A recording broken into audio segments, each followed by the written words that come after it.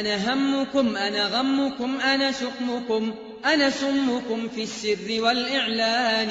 أي دعوة خير عندها أعداء. عشان كده ما تستغرب. أي دعوة خير عندها أعداء كتار جدا. أعداء واحدين شغالين كذب يا أخي الليلة نحن مارقين الصباح وجايين عليكم هنا الناس اللي قروا الجرايد ولا في وس- وسائل التواصل. كاتبين بالخط العريض. مزمل يهود القاعد ده. بالخط العريض في الجرايد.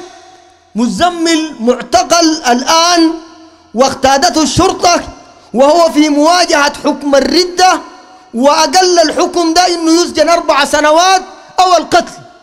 في شنو يا ناس؟ هذا قاعد هذا. عشان تعرف عشان تعرف الكذب.